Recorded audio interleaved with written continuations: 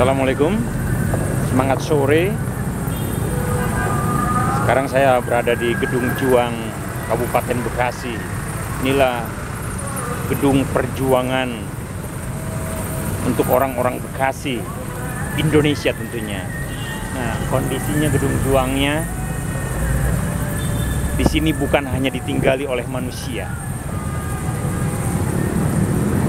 kelalawar yang banyak dan nanti malam pun gedung juang ini akan dihuni oleh mobil-mobil dari pemerintahan yang ada di sekitaran Jabodetabek.